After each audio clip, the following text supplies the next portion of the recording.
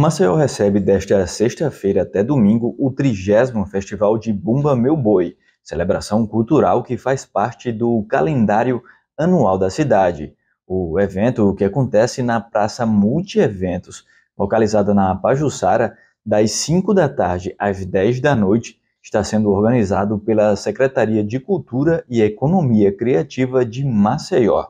Este ano, os 30 grupos participantes não terão distinção por categorias e serão premiados os três melhores de cada noite do festival. As apresentações do 30 Festival de Bumba Meu Boi serão abertas ao público.